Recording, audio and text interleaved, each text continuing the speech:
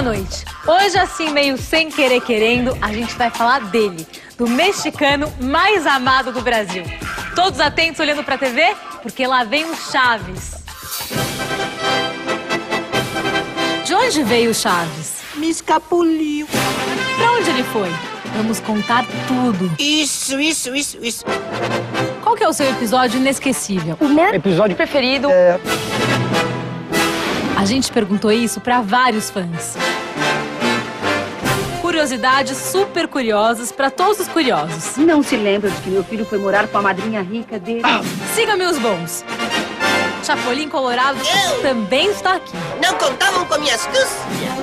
Vamos rever as entrevistas e visitas ao Brasil dos atores que eternizaram os personagens.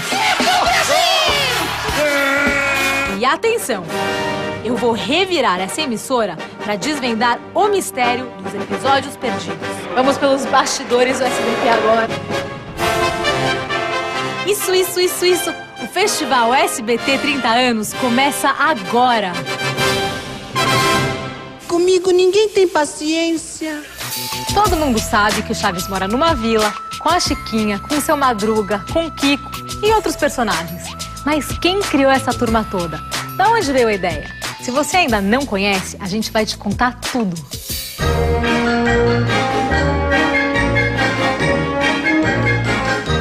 Roberto Gomes Bolanhos é um dos maiores talentos da televisão mexicana. Os personagens criados por ele viajaram por todo o mundo e ainda fazem um enorme sucesso. Há 40 anos no ar, Chaves e Chapolin continuam alegrando adultos e crianças.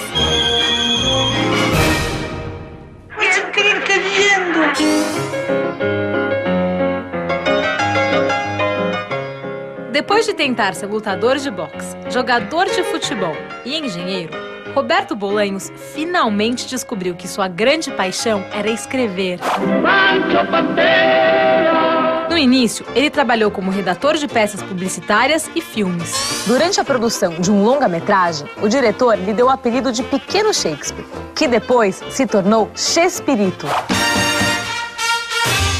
Em pouco tempo, ele já estava escrevendo para uma das maiores rádios do México. Daí para televisão foi um pulo. Roberto começou criando esquetes para um programa de comédia chamado Cômicos e Canções. Foi nessa época que Bolanhos começou a atuar.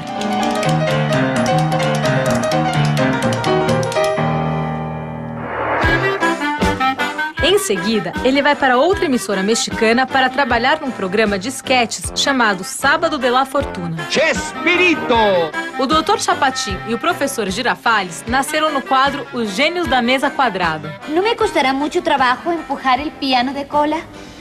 Mejor empújelo de frente.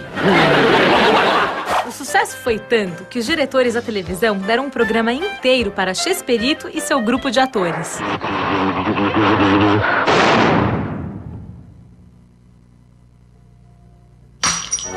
Vários esquetes faziam parte desse programa. Es el Chapulín Colorado.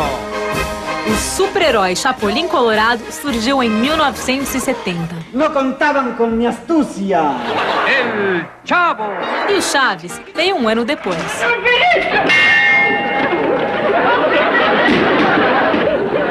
¡Ay, chavo! Por eso te sacaste la lotería. ¿Por qué? Le pegaste al gordo.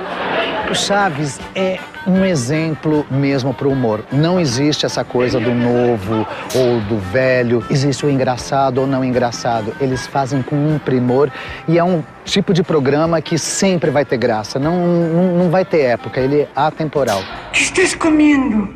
Una torta de. ¿Quieres? Sí. Compra. Sou fã do Chaves desde sempre. Ah, do Chaves, do Chapolin Colorado. E eu acho que é um humor que é para toda a família, dos 8 aos 800 anos, porque não é um humor apelativo, não é um humor que leva pro palavrão, pra sacanagem, é um humor que agrada todas as faixas etárias. Em 1973, Chespirito e sua turma mudaram para uma grande emissora mexicana e as esquetes do Chaves e do Chapolin se tornaram seriados.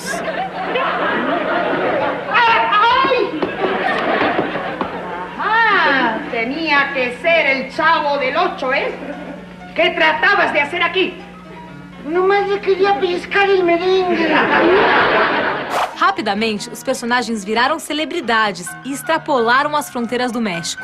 O Chavo del Ocho passou na telinha de praticamente toda a América Latina, em alguns países da Europa e até no Japão. Nandeska, Karewa, Kuchiwin, Yamasaki. E tu, chavo, vai aprenderla bene, hein? É difícil você explicar um fenômeno, né? Tem muitas variáveis que acabam chegando a essa conclusão, né? Além do, do, do texto ser muito bom, além do, do dos personagens, né, da interpretação dos personagens é, ser muito boa, da dublagem, né, é, porque ele faz sucesso em cada país. Dans la voix s'image qui est un cap de tripe. Niste računali na moju hitrost. Antes eu me identificava muito com o Kiko por causa das bochechas, aí passou o tempo, eu acho que eu tô mais pro Sr. Barriga. Às vezes me pego assim, tô trocando de canal, tá passando Chaves, eu assisto um pedaço e dou risada de novo. E eu tenho um filho que também assiste, acha engraçado. Eu acho que o Chaves funciona e, e vai funcionar por muitos anos. Não acho que vai, vai acabar assim, sabe? Um dia vão cansar do Chaves. Eu acho que os- vão reprisar muito ainda o Chaves aqui no SBT. A época de ouro dos seriados de Bolanhos foi em meados dos anos 70.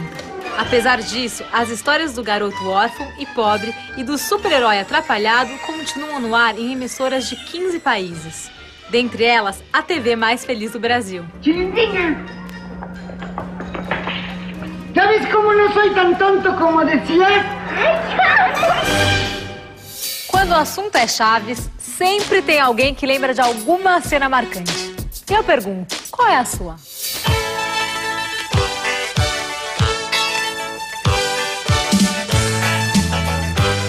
Chaves! Chaves, Chaves, Chaves. É uma historinha bem gostosa de se ver. Isso, isso, isso. Chaves é maravilhoso. Nós fizemos essa pergunta para os fãs. Alguns fanáticos, outros famosos, mas sempre fãs. E olha só o que saiu. O meu episódio preferido do Chaves é a saga do julgamento do Chaves. Nesse episódio, o Chaves atropela o gato do Kiko com, com a bicicleta do seu Madruga. E com isso, o professor Girafales propõe a eles fazer um julgamento igual nos programas do Pede Mais Um. Eu ia de bicicleta quando de repente me distraí porque eu vi que na calçada estava uma dona bem bonita, bem bonita, assim. Olha, Chaves, um momentinho. Tudo bem que os adultos se distraiam por uma dona bonita, mas um menino? Não, não, não, não, não. Eu, eu não me distraí pela dona bonita. Eu me distraí foi com um homem que estava paradão, feito bocó na rua, vendo a dona bonita. Então, eu atropelei o gato para desviar do homem que estava feito bocó na rua, vendo a dona bonita. Digo quem era esse homem? Não, não precisa, não precisa. Não quer que eu conte Declaro quem Chaves inocente e encerro o caso. Olha, o Chaves com certeza fez parte da, da infância da minha geração, né? E um, e um episódio que eu lembro muito, assim, muito bem, assim, toda vez que eu lembro eu morro de rir, é o episódio do Gato da Bruxa do 71, Satanás. Esse vale a pena ver. Agora não poderá escapar de mim. Papai! Quem está aí? Miau!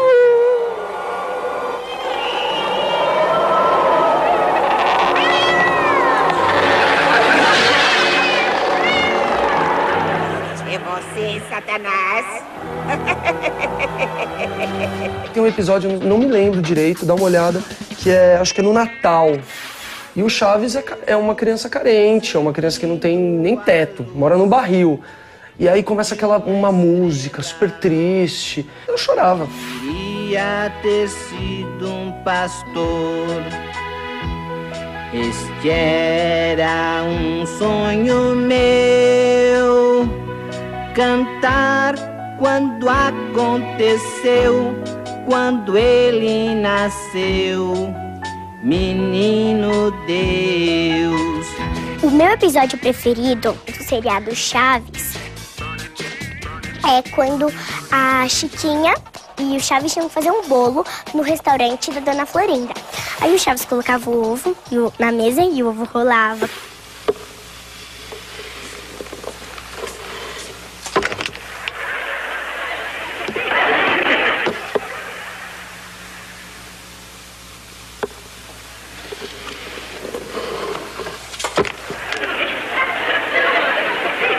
Chiquinha, Eu? os ovos andam? Bom, meu episódio preferido é o do Festival da Boa Vizinhança, porque esse episódio é um episódio clássico. O pessoal usa os bordões que acontecem nesses episódios, que são, é, são três, na verdade, tem o, o quarto, que é inédito no Brasil. E tem um poema nesse episódio que se chama O Cão Arrependido. Seria mais ou menos assim. Volta o cão arrependido, com suas orelhas. orelhas tão fartas, com seu osso ruído e com o rabo entre as patas. Tem muita gente amiga que hoje tá na faixa dos 30, 30 e pouco. E Tchulin Tchulin Tchum Fly é tipo um hino, assim.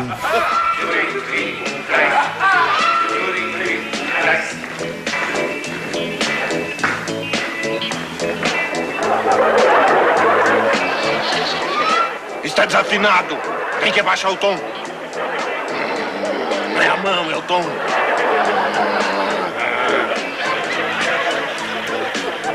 cena do Chaves que eu mais gosto é uma cena que, ele, que eles estão jogando água e começa a jogar uma água no outro. Isso eu acho o máximo. Sim, mas o Boboca pegou um balde cheio d'água e aí botou em subir. A vida, de um modo geral, é muito simples. Normalmente, quando você vê uma novela, você vê um mundo que não existe, que não é real. Aquele é o mundo real. Eu fui criado não num- exatamente numa vila, num beco, mas eu fui criado na periferia, que era muito aquilo, né? Ele fez muito sucesso em muitos países, mas principalmente nos países de terceiro mundo, nos países da América Latina, onde as pessoas eh, realmente são mais humildes, são mais simples e que acabam vencendo as adversidades, acabam vencendo ah, as lutas do dia a dia, né? Com a simplicidade de um, de um, de um Chaves, né? É a simplicidade que torna aquilo tão imperecível, sabe? É uma coisa que fica lá durando, durante muitos, muitos anos, várias gerações vão entender, vão compreender e continua funcionando.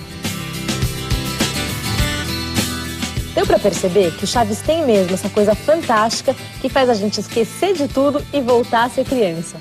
E viva o Chaves! Você sabe qual foi o último episódio do Chaves com o elenco original completo? Vários mistérios e segredinhos rondam a vila e a vida dessa turma. Vamos ver. Eu sou famoso Chaves. Todos dizem que minha roupa é remendada. E faço tremer as bases com as minhas peraltices preparadas. Há quase três décadas no ar, o seriado mais amado pelos brasileiros é repleto de curiosidades. Para começar, todo mundo sabe que certos atores faziam dois personagens da série. É o caso do protagonista Chaves. Ele também dava vida ao Chapolin. Você se lembra quando eles se encontravam na vila? Não contavam com minha astúcia. Tenho a impressão de que você parece com alguém que eu conheço. Você não vai acreditar, mas eu também já vi sua cara em outro lugar. Você já viu minha cara em outro lugar? Sim. Não pode ser porque eu sempre tive a cara no mesmo lugar. Ah, conta pra sua mãe. Além dele, Dona Florinda também era Pops. Seu barriga dava vida a Nhonho. Chiquinha também fazia Dona Neves. E o seu Madruga? Não, ele era apenas o seu Madruga.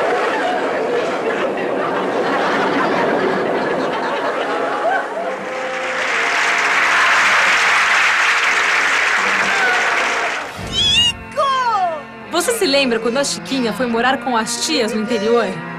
O reencontro foi emocionante. Sabe que, que, que, que desde que você foi embora eu penso muito em você porque eu queria te dizer uma coisa, sabia? Pode dizer o que quiser, Chavinho. É que você foi embora me devendo dois cruzados. Na verdade, Maria Antonieta de La Neves estava grávida e saiu de licença nesse período. Foi uma desculpa bem bolada. Mais 45 xícaras de café e eu vou ter um papai novo. Com Carlos Villagrán, o Kiko, o problema foi um pouco maior. que te importa? Depois de receber uma proposta de um programa solo na Venezuela, ele decidiu sair do programa. Foi nesse episódio